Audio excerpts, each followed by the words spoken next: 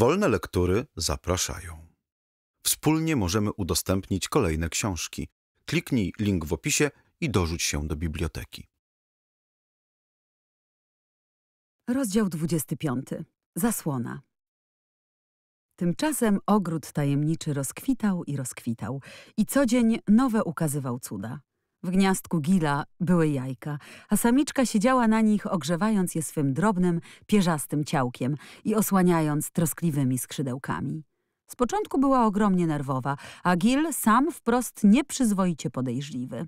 Nawet Dick nie podchodził w tym czasie do gęstw ocienionego kątka ogrodu.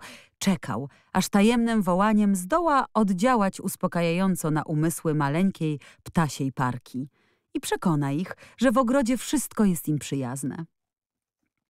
Że nie ma tam nikogo, kto by nie rozumiał całej cudowności tego, co się działo w ich gniazdku. Owej wielkiej, czułej, potężnej, uroczystej tajemnicy. Gdyby była choć jedna istota w tym ogrodzie, która by nie wiedziała, że gdyby jajko w gniazdku ruszyli lub stłukli, to by świat cały zawirował i rozpadł się w przestrzeni. Gdyby była choć jedna nieczująca tego i postępująca wedle tej nieświadomości, to nie byłoby szczęścia nawet w tej najcudniejszej, złotej porze wiosennej. Lecz tu wszyscy wiedzieli i odczuwali to, zaś Gil i samiczka jego wiedzieli o tym, że tamci wiedzieli. Z początku przyglądał się Gil Colinowi i Mary z niekłamanym lękiem. Dla przyczyny jakiejś niewytłumaczonej wiedział, że nie potrzebuje czuwać nad Dikiem. Od pierwszej chwili, jak tylko spojrzał na Dika, zrozumiał, że nie jest obcy, ale że to też rodzaj Gila, tylko bez dzioba i upierzenia. Umiał on mówić po gilowemu, co jest mową odrębną, której z żadną inną mieszać nie należy. Mówić po gilowemu do Gila znaczy to samo, co mówić po francusku do Francuza. Dick zawsze przemawiał do Gila jego językiem. To też temu ostatniemu obojętne było, gdy chłopiec jakąś gwarą mówił do ludzi. Gil także myślał, że Dick musiał do nich mówić gwarą, gdyż nie byli oni dość inteligentni, by zrozumieć mowę upierzoną. Ruchy chłopca również były gilowe. Nigdy one nikogo nie przestraszyły, nigdy bowiem nie były nagłe, by się zdawać mogły niebezpieczne lub grożące. Każdy Gil mógł Dicka rozumieć, zatem obecność jego bynajmniej nie przeszkadzała. Lecz przede wszystkim należało się mieć na baczności przed tamtym dwojgiem. Najpierw ów chłopiec nie wszedł do ogrodu na nogach. Wepchnięto go tu na czymś, co miało koła, a na nim narzucone były skóry zwierząt. To już samo przez się było mocno podejrzane. Potem, gdy zaczął stawać i poruszać się, czynił to w dziwny, niezwyczajny sposób, a zdawało się, że ci drudzy muszą mu pomagać. Gil zwykle chował się w krzaki i stamtąd przyglądał się wystraszony, przechylając główkę to na tę stronę, to na tamtą. Myślał bowiem, że owe powolne ruchy były przysposobieniem do skoku, jak to zwykły czynić koty. Gdy kot przygotowuje się do skoku, na ten czas czołga się po ziemi ogromnie wolno. Gil dużo na ten temat rozmawiał ze swoją żoną dni kilka, lecz potem zdecydował, że nic jej mówić nie będzie, gdyż przerażenie jej było tak wielkie, że lękał się, by to nie zaszkodziło jajkom. Odczuli wielką ulgę, gdy chłopiec zaczął chodzić sam, a nawet poruszać się prędzej. Lecz długo jeszcze, w każdym razie Gilowi zdawało się to długo, był on źródłem pewnej obawy. Nie robił wszystkiego tak jak inni ludzie. Zdawał się bardzo lubić chodzić, ale miał taki niepokojący sposób siadania lub kładzenia się i wstawania potem nagle, by zacząć na nowo. Pewnego dnia Giel sobie przypomniał, że gdy jego samego rodzice zaczynali uczyć latać, to podobnie robił. Wzlatywał na kilka łokci i zmuszony był odpoczywać. Zrozumiał zatem, że ten chłopczyk uczy się latać, czyli właściwie chodzić. Wspomniał o tym samiczce, a gdy dodał, że jajka po wykluciu się i wypierzeniu w ten sam sposób będą postępowały, uspokoiła się zupełnie, a nawet zainteresowała nie na żarty, skąd znów powstała dla niej szczera przyjemność przyglądania się chłopcu przez brzegi gniazdka. Choć co prawda przekonana była, że pisklęta jej będą zdolniejsze i uczyć się będą prędzej. Potem jednakże dodała z pobłażaniem, że ludzie są zawsze ciężsi i powolniejsi od piskląt, a większość z nich robiła istotnie wrażenie, jakby się nigdy nie uczyli latać. Nigdy ich spotkać nie było można w powietrzu i na wierzchołkach drzew. Po pewnym czasie ów chłopczyk począł poruszać się jak inne dzieci, lecz wszyscy troje wykonywali czasem rzeczy niezwykłe. Stawali pod drzewem i poruszali rękoma, nogami i głowami w taki sposób, że nie było to ani chodzeniem, ani bieganiem, ani siedzeniem. Ruchy te wykonywali w pewnych chwilach co dnia, a Gil nie był w stanie wytłumaczyć samiczce, co robili, czy co usiłowali robić. Mógł tylko powiedzieć, że był zupełnie pewny, iż pisklęta nigdy nie będą w taki sposób wymachiwać skrzydełkami, ale ponieważ ów chłopiec mówiący tak płynnie po gilowemu robił to samo, co tamci, zatem ptaszki mogły być spokojne, że ruchy te nie były natury niebezpiecznej. Co prawda to ani Gil, ani jego żona nie słyszeli nigdy o siłaczu Bobie Howard i o jego ćwiczeniach dla wyrobienia twardych mięśni. Gile nie są do ludzi podobne. Ich mięśnie od początku się wyrabiają w sposób przyrodzony, bez ćwiczeń nadzwyczajnych. Jak trzeba fruwać, by znaleźć sobie każde źdźbło pożywienia, to muskuły nie zanikną. Zanikają zwykle przez brak ruchu. Gdy chłopczyk począł biegać, chodzić, kopać, pleć jak tamte dzieci, wówczas w gniazdku zapanował pokój i zadowolenie. Obawy o jajka stały się sprawą przeszłości. Świadomość, że jajka są bezpieczne, jakby były zamknięte w banku, w połączeniu z możliwością przyglądania się tylu ciekawym rzeczom, uczyniły z wysiadywania bardzo sympatyczne zajęcie. W słotne dni odczuwała nawet matka jajek pewnego rodzaju nudę, gdy dzieci nie było w ogrodzie. Lecz nie można twierdzić, żeby nawet w słotne dnie Mary i Colin się nudzili. Pewnego poranku, gdy deszcz bez ustanku lał jak z cebra, Colin zaczynał już być niespokojny, zdenerwowany, ponieważ zmuszony był siedzieć na sofie, gdyż chodzić byłoby niebezpiecznie. Wówczas Mary przyszła myśl genialna. Teraz, gdy jestem zdrowym, normalnym chłopcem, mówił Colin, moje nogi, ręce, całe ciało tak są pełne czarów, że mi trudno na miejscu usiedzieć. Więc chciałbym być w ruchu. Wiesz, Mary, jak się obudzę rano, bardzo wcześnie, a ptaszki taki rozgwar wesoły czynią i wszystko zdaje się krzyczeć z radości, nawet drzewa, choć ich nie słyszymy, to zdaje mi się, że muszę z łóżka wyskoczyć i też krzyczeć z radości. Ach, gdybym to zrobił, to pomyśl tylko, co by się stało. Mary wybuchnęła niepowstrzymanym śmiechem. Wpadłaby tu zaraz pielęgniarka i pani Medlock i byłyby przekonane, żeś zwariował i posłałyby po doktora, odrzekła. Colin śmiał się serdecznie. Wyobrażał sobie, jakby te baby wyglądały, jak byłyby przerażone jego wybuchem, a jak zdumione, widząc go stojącego. Chciałbym, ażeby ojciec już wrócił, mówił. Chcę mu sam wszystko powiedzieć. Wciąż o tym rozmyślam, ale dłużej już tak trudno będzie nam wytrzymać. Nie mogę ciągle leżeć i udawać, a przy tym wyglądam zupełnie inaczej teraz. Tak bym chciał, żeby dziś była pogoda.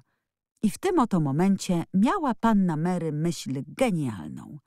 Kolinie, rzekła tajemniczo, czy wiesz, ile w tym domu jest pokoi? Myślę, że z tysiąc, odparł. Jest około stu, do których nikt nigdy nie wchodzi, rzekła Mary. Pewnego słodnego dnia poszłam i zajrzałam do kilku. Nikt o tym nie wie, choć pani Medlock o mało się na mnie nie natknęła. Zbłądziłam, gdym wracała i zatrzymałam się na końcu twego korytarza. Słyszałam wtedy twój płacz po raz drugi. Colin podskoczył na sofie. Sto pokoi, do których nikt nie wchodzi, mówił. To mi coś wygląda jakby tajemniczy ogród. A gdybyśmy tak wybrali się i obejrzeli je, dowiozłabyś mnie w fotelu i nikt by się nie dowiedział. To samo sobie myślałam, rzekła Mary. Niechby tylko nikt nie ważył się iść za nami. Tam są galerie długie, gdzie byśmy się mogli gonić. Jest też mały pokój indyjski, w którym znajduje się gablota pełna małych słoni z kości słoniowej. Są najrozmaitsze pokoje. Proszę cię, zadzwoń, rzekł Colin. Gdy weszła pielęgniarka, dał jej dyspozycję.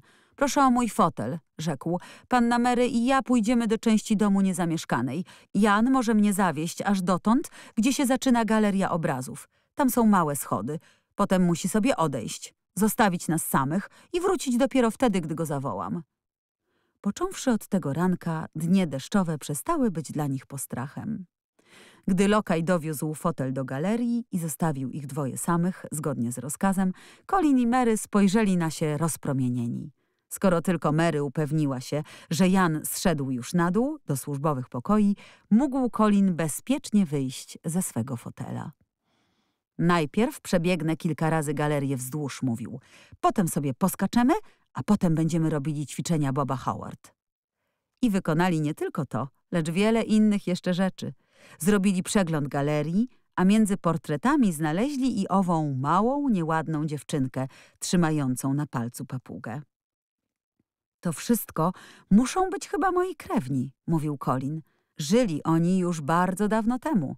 Ta z papugą to zdaje się jakaś moja pra, pra, pra, pra babka. Ona bardzo do ciebie, Mary, podobna, ale nie teraz, tylko do tej Mary, jaką byłaś, gdyś tu przyjechała. Teraz jesteś o wiele pełniejsza i ładniej wyglądasz. I ty także, odrzekła Mary i oboje się roześmiali.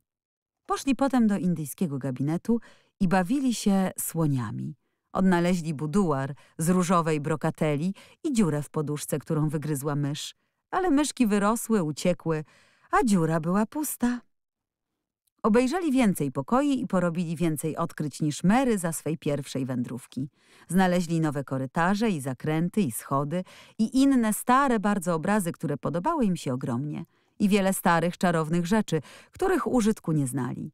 Był to dziwnie zajmujący poranek, a to uczucie, że wędrują w jednym domu z tylu innymi ludźmi, a równocześnie, że są jakby o setki mil od wszystkich daleko, było czymś pełnym uroku. Bardzo jestem zadowolony, że tu przyszliśmy, rzekł Colin. Nie wiedziałem zupełnie, że mieszkam w takim ogromnym, dziwnym, starym domu. Podoba mi się. Każdego słodnego dnia będziemy się tak wałęsać. Za każdym razem znajdziemy coś nowego. Tego rana znaleźli między innymi takie bajeczne apetyty, że gdy wrócili do pokoju Kolina, nie byli w możności odesłać drugiego śniadania nienaruszonego. Gdy pielęgniarka zniosła tacę na dół, postawiła ją w kredensie z takim stukiem, że kucharz Lumis spostrzegł opróżnione doszczętnie półmiski i talerze. Proszę tylko spojrzeć, zawołała. Ten dom stanowczo pełen jest zagadek, a tych dwoje dzieci jest zagadką największą. Jeśli tak dalej pójdzie, rzekł ów silny służący Jan, to nie dziwno będzie, że ważyć będzie dwa razy tyle, co przed miesiącem. Będę musiał prosić o zwolnienie z obowiązku, bo się boję, że się podźwigam. Tego popołudnia zauważyła Mary, że w pokoju Kolina zaszło coś nowego. Już poprzedniego dnia to zauważyła, lecz sądziła, że zmiana była tylko przypadkowa. I dzisiaj nic nie mówiła, lecz usiadła i przyglądała się uporczywie portretowi przed kominkiem. Mogła mu się przyjrzeć, bowiem zasłonę odsunięto na bok. Oto była zmiana, którą zauważyła. Wiem, co chcesz, żebym ci powiedział, rzekł Colin, gdy przyglądała się obrazowi czas jakiś. Ja zawsze wiem, gdy chcesz, bym ci coś powiedział. Ciekawa jesteś, dlaczego zasłona jest odsłonięta. Teraz chcę, żeby tak zostało zawsze. Dlaczego? spytała Mary. Bo już mi nie jest przykro teraz, gdy ją widzę śmiejącą się. Onegdajszej nocy obudziłem się, księżyc jasno świecił i miałem uczucie, że czary napełniają cały pokój i czynią wszystko tak cudnym, że uleżeć nie mogłem. Wstałem więc i wyjrzałem przez okno. W pokoju było jasno, a jedna plama światła księżycowego kładła się na tej zasłonie i to uczucie niejako spowodowało, żem podszedł i pociągnąłem za sznurek.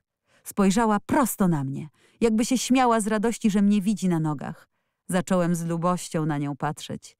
Miło mi więc widzieć ją taką uśmiechniętą. Myślę, że ona musiała być pełną czarów. Ogromnie jesteś do niej teraz podobny, rzekła Mary. Tak, iż nieraz sobie myślę, że może jesteś jej duchem zaklętym w chłopca. Myśl ta zawładnęła umysłem Kolina. Zamyślił się głęboko, po czym zwolna odrzekł. Gdybym był jej duchem, to by mnie ojciec mój kochał. Czy chciałbyś, żeby cię kochał? Pytała Mary. Dawniej nienawidziłem jej, bo mnie przez nią nie kochał. Gdyby ojciec pokochał mnie, to bym mu może opowiedział o czarach. Może by to sprawiło, żeby był trochę mniej smutny.